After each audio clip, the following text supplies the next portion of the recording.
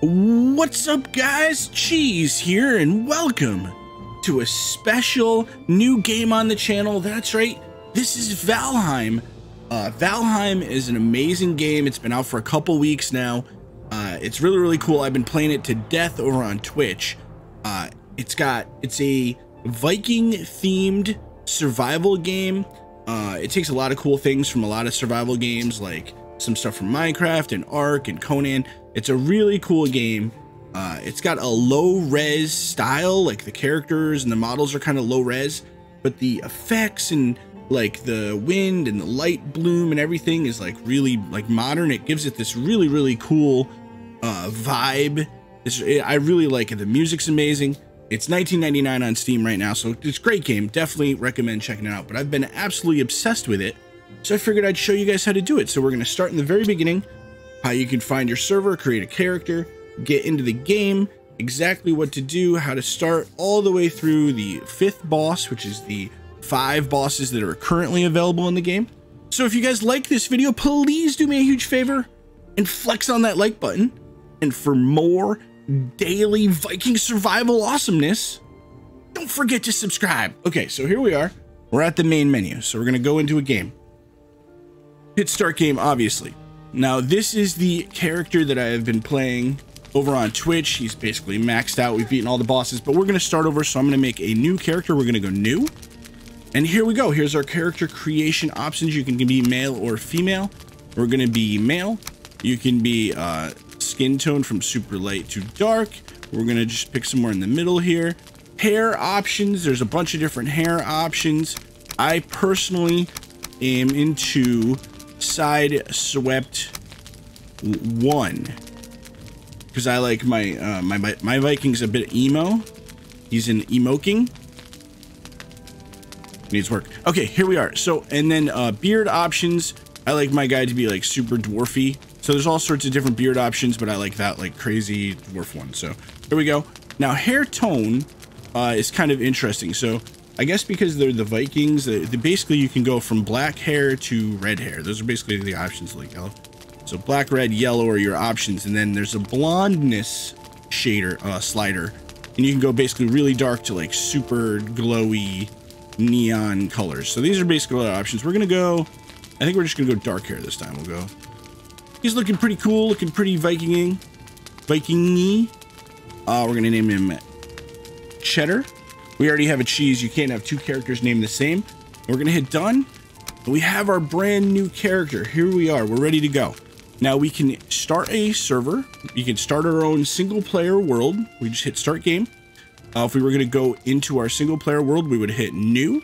But first, I'm going to show you guys how to get onto a server. Some of you guys may be trying to play with your friends or have your own servers. I, at the time of this recording, can't get any of this join game server stuff in game to actually work. I don't know if it's I I I don't I can't get it to work and my friends can't get it to work. I don't know if it's just not functioning currently, if it's going to be fixed or whatever. At the time of this recording, it doesn't work. So, if you want to join your friend's server or your server, I'll show you how to do that right now. Okay, so now we're we're in Valheim, but we want to get on our server. How do we do that? What we're going to do is we're going to pull up our Steam. So here's my Steam homepage. We're going to go to View. We're going to hit Servers. And here's my uh here are my favorite servers. Oh, pull it over to the correct screen.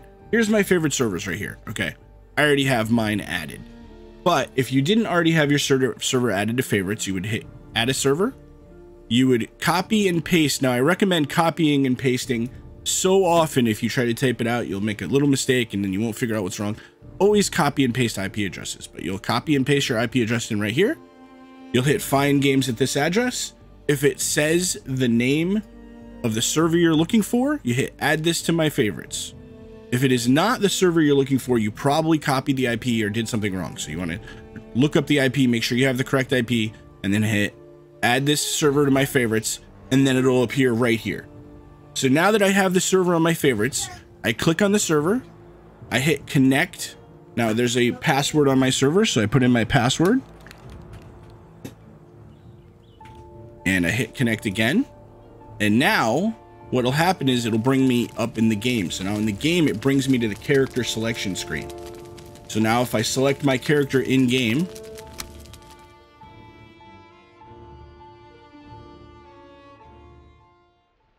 and then I would enter in the password again and I'd be able to log into the server. But we're not going to do that. We're going to go back to the single player. So I'll show you how to start that up right now. Okay, guys, we're back at our character creation screen or character selection screen, excuse me. And we're going to choose our character and open up a new single player world. So we want to pick the character we want. We want this character, Cheddar. I'm going to hit start. It opens up this menu right here. Now, I'm going to hit new world because I'm going to create a new a new game. And now, uh, this game, the map, dungeons, and everything about the game is procedurally generated. So each time you start a new world, the game calculates the world for you and plans it out, and then each time it's different based on this seed. So just because you see a specific thing, boss, a mountain, uh, an ore, in my world in a specific spot, does not necessarily mean it'll be in the same place on your world. Each world is unique unless you use the same seed. So I'm going to name my seed actually. We're going to go in the cheese seed. So if you guys want to play along with me on your playthrough, use the same seed and then all our stuff will be in the same spot. So if you want to be on the seed that I'm on, it's cheese, or you can just leave it random. You're going to name your world. We're going to call this uh, the cheese YT world. It's going to be my cheese YouTube world. And we're going to hit done. So now we have a server started right here. We can we can hit start and we'll go right into the game.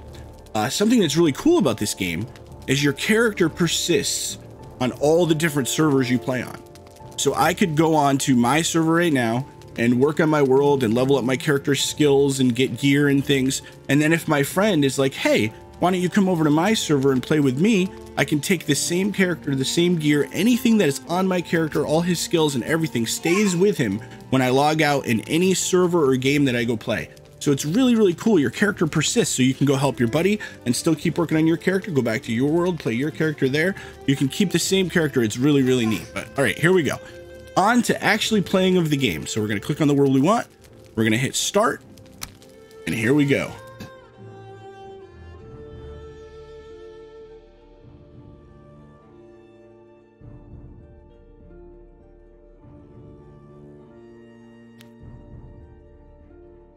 I even like the little touch of like the old school like cursor. Is anybody old enough? Anybody watching the video remember customizing the cursor on your computer? That used to be a thing that people would do back in the olden days.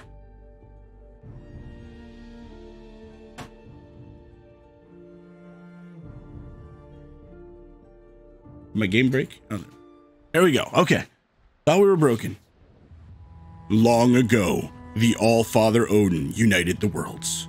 He threw down his foes and cast them into the tenth world, then split the boughs that held their prison to the world tree and left them to drift, unanchored, a place of exile. For centuries, this world slumbered uneasily, but it did not die.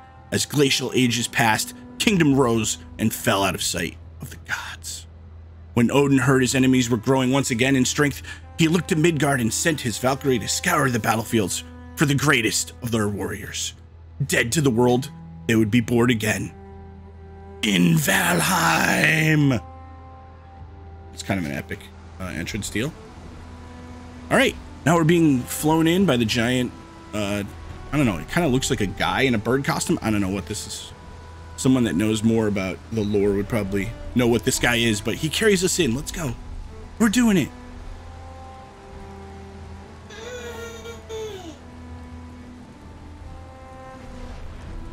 Epic lightning and bird flying action.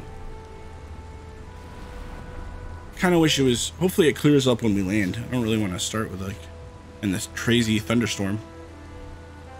All right, we're, we're coming in for a landing. Pull up, man, we're coming in too hot. Okay, uh, he dropped us. Okay, oh, all right, we've spawned in the world immediately getting attacked. So uh, left click is punch. So we're gonna uh, left click these guys a little bit. Get rid of this guy. Yeah. Kind of awkward to start. Now, uh, some things about what's on your screen in the bottom middle there, that yellow bar, that is your stamina. When you're out of stamina, you won't be able to punch or run, so you want to try to manage that. On the uh, left side bottom over there, The red 25, that is my health.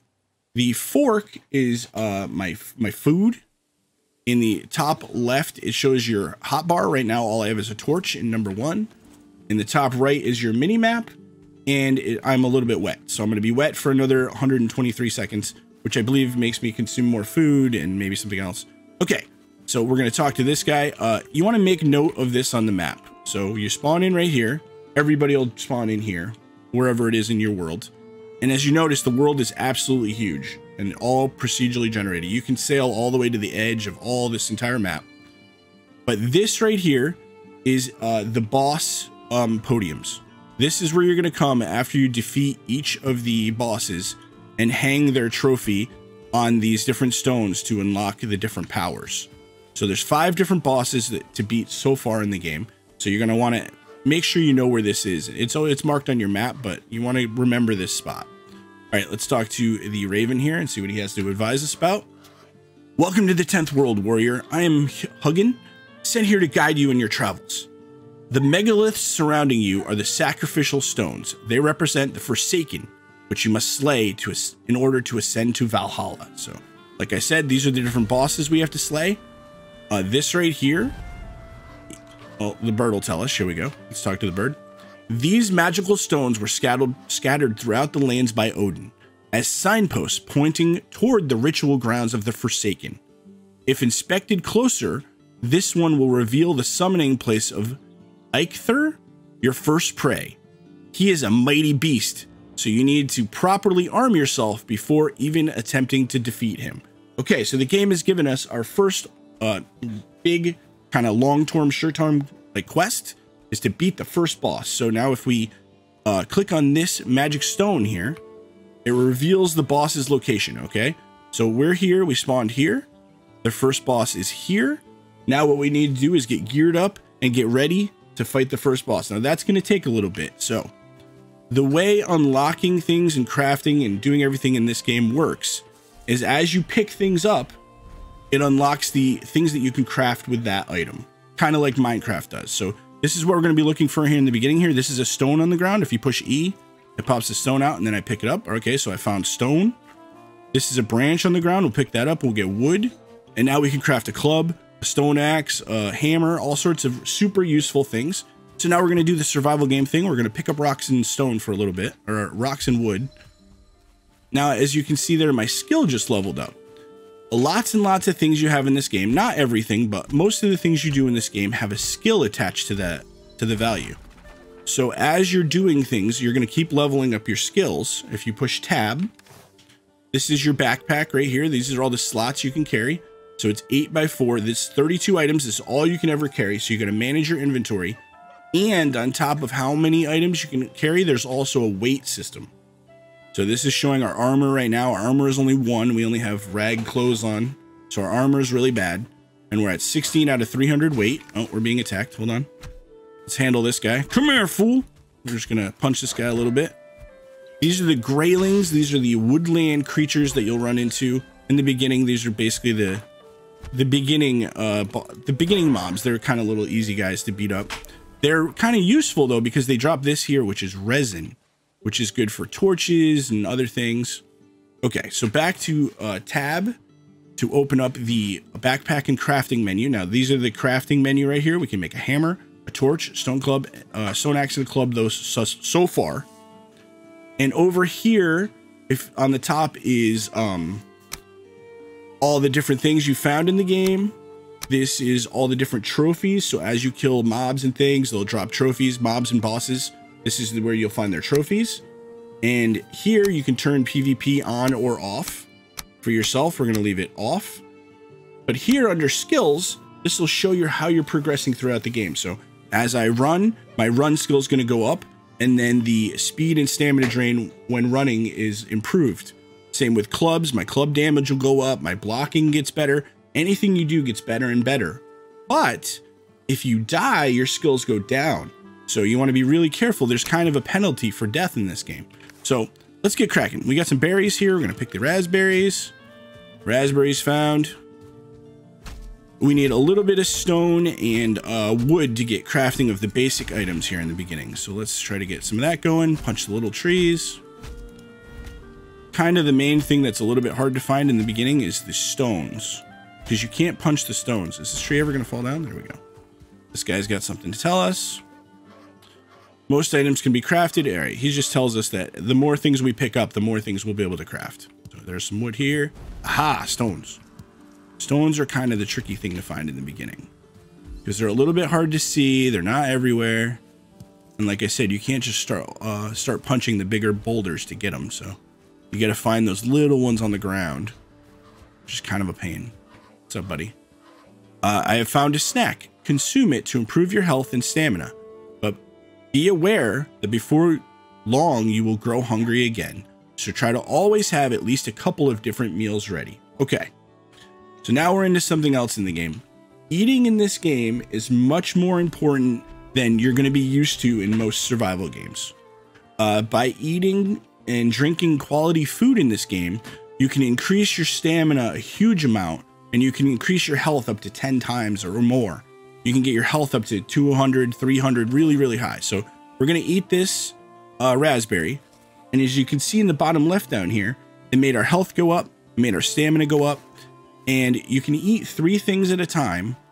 And ideally, you want to eat three high quality meals and then it'll make your uh, health and stamina really, really high. But that's later on once you can cook and you have higher quality ingredients.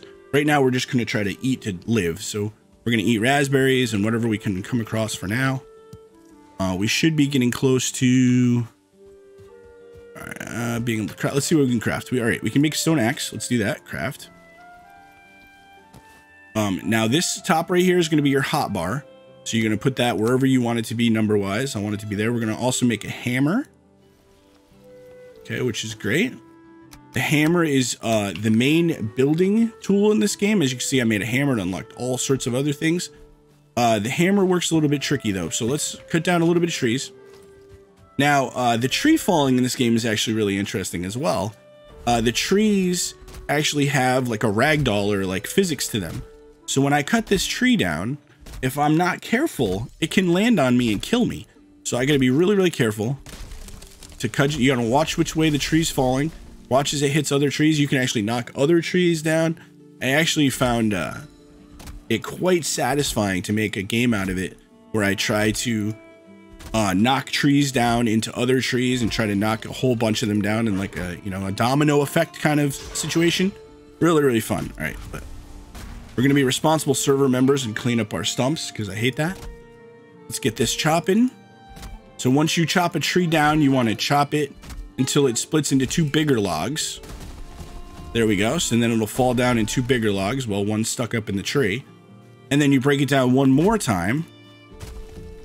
And it'll split up into a bunch of log pieces that we can actually pick up as wood. So break it down one more time. There we go. So we got some wood. There's another rock in the ground right here. We're going to open up our crafting menu. We can make a club, which is good. It's going to be our first weapon. So now we're doing pretty good. We got our first weapon. We got our first tool to cut down trees with. And we got a hammer. So now we're going to start a little base. Um, this guy's just going to tell us about using the building hammer. With this tool, you will raise mighty halls and towering fortifications. Start by building a workbench. This in turn will enable you to construct other things. Okay, so we're going to get into how the hammer actually works. It's a little funky in the beginning to get used to. It works a little bit different than some other survival games in the building uh, aspect.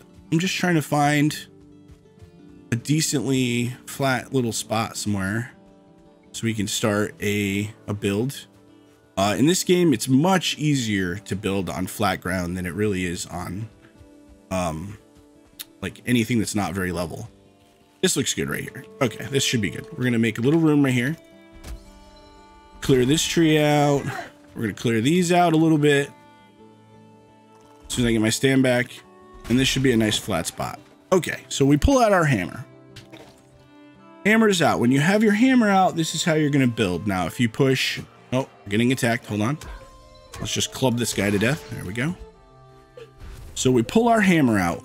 Now, if we push right click, it'll show us all the things that we can currently craft.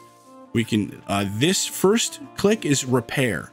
So once you've already built something, you click on this if you want to repair it. So if I want to repair my build, I click around that with that. We'll, we'll get into that in a little bit. Uh, we open up the hammer again so I can make a campfire, some log and piles. Um, this is what we're going to have to put down first, this workbench. Uh, we can put the cooking station, no building, no furniture. Okay, so the very first thing you have to make is a workbench. So it's going to make me put this on a flat spot because uh, 10 wood to make. So when I put the workbench down, the workbench, now it unlocks all sorts of other new things over here. Arrows, a hoe, wood building pieces. We just unlocked all sorts of stuff there. So we're going to talk to the bird again. The workbench allows you to craft complex pieces, as well as giving you access to lots of more building pieces to construct with the hammer. So, as we can see, if we have our hammer out, uh, the workbench has a radius around it, or a circle. Let's, let's not uh, show the circle of... There we go. So this white circle is the circle that we're allowed to build in once you put down a workbench. So the uh, the hammer basically only works if you have a workbench down and you are in the radius of that workbench. So the hammer allows you to put the workbench down, put a cooking station down, a fire, uh, a, a uh, campfire, and that's about it. So you have to put get a bench down. Now, if I try to access this bench, it'll say station needs a roof. So in order to be able to actually use this table, you have to build a little shelter around it. Now, I'll show you a little cheap shelter that I've uh, been using. It's basically the cheapest you can make and have it be sheltered as far as I've been able to figure out. So you just want to put one little wall on the side of it. Uh, the building in this game uh, works a little different. So I push uh, three to bring my hammer out. I right click. Now here's all the different things I can build. Uh, we're going to build a wall. So I'm going to click the wall and now I have a wall out. Now anywhere where it's not red, I can place it. So there I can't place it, but anywhere else it'll place. But we're gonna, and uh, if you middle mouse wheel spins it around. So middle mouse wheel spins it around. So I want to turn it so it's the right way and it'll snap right to the other wall. So boom. And again, I want to turn this a little bit this way. And we've made like a little horseshoe box for our thing. We're to right click again on our hammer. Oh, we're a little bit, we're out of wood. So now we need to chop a little bit more wood. Just a little bit more. I think we need like another four pieces to put the roof on maybe. But we'll get a little bit more. Just make sure we have, enough, we have plenty. There we go. And there we go. Nice. Okay. So now we push three to pull our hammer out. We push right click. We go back to all the different things we can make. Now what we're going to use is this uh, thatch rooftop right here. And if we turn it sideways, or you can even use it this way too, but I guess I think it looks a little bit better sideways. But you turn it this way sideways, put one on top, and uh, the pieces snap wherever your pointer is looking. So if I want to snap a piece, this roof to that roof, if I put my my cursor right on the edge of that roof, it'll snap in, see? So that's where your your building happens in this game, where you put your cursor. It's all about aiming your cursor. So you aim it there and boom. And sometimes it'll make you put another wall right here, but this should be enough. There we go. So now we're able to access our table, which allows us to make wood arrows, a hoe, a torch, and then we can upgrade the items that we already have. We're not going to get into that yet. So that's pretty great. We've got this available to us. Uh, we need to do a little bit more gathering now. If we could find uh, some boars now would be really great. So let's see. Oh, there's some over there. Let's see if we can take out a bull. No, that's a deer. A deer would be okay to take out, but they're really fast and kind of hard to get, especially in the beginning when your weapon is not strong enough to kill them in like one or two shots. Yeah, all right, we need to look around a bit more.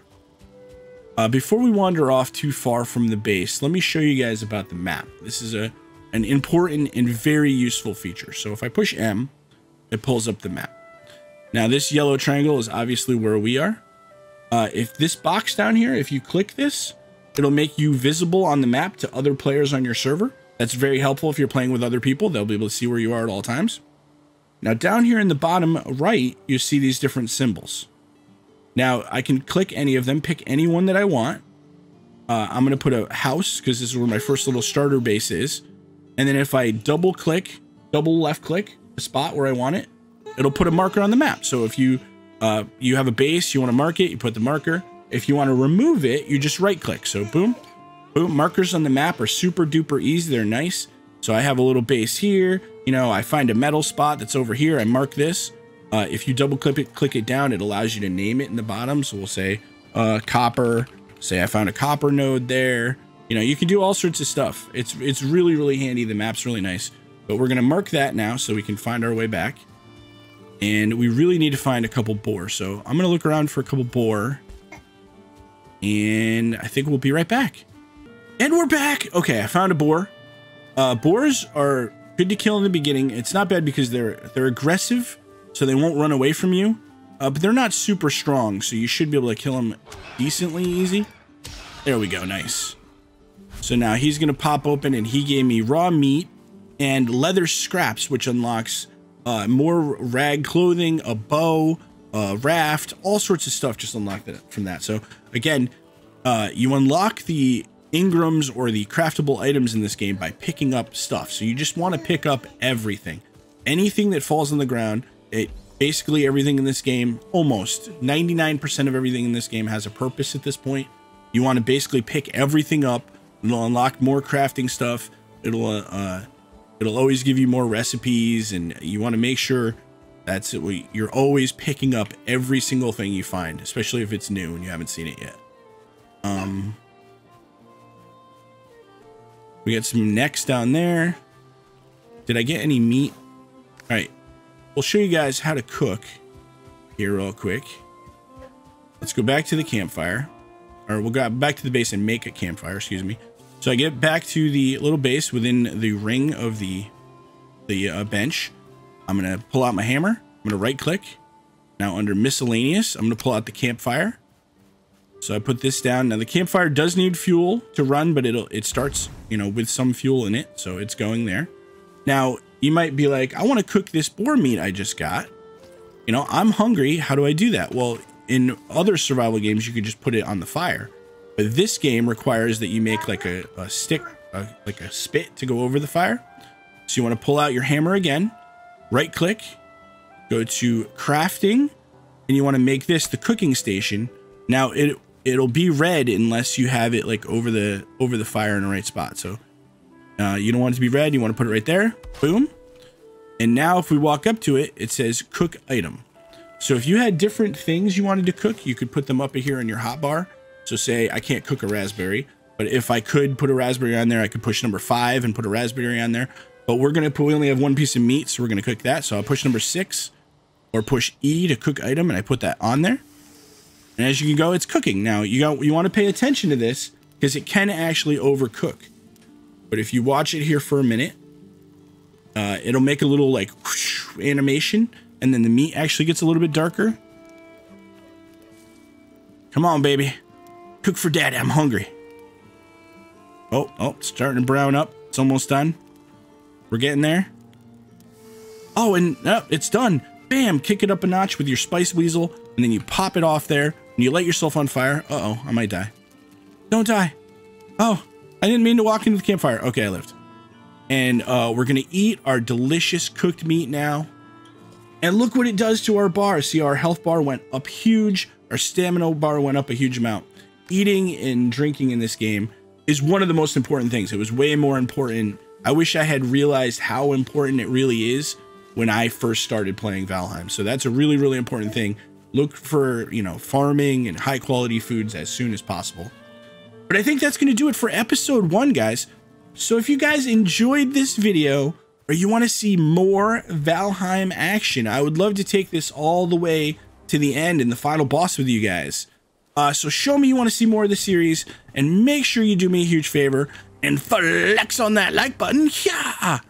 And for more daily video game Viking awesomeness, don't forget to subscribe. All right, I love you guys. I'll see you guys next time. Cheers.